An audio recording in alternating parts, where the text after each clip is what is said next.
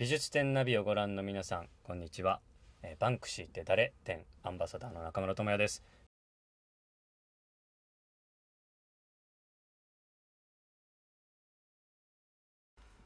自分のためにだけ名声を得る時代は終わりだ。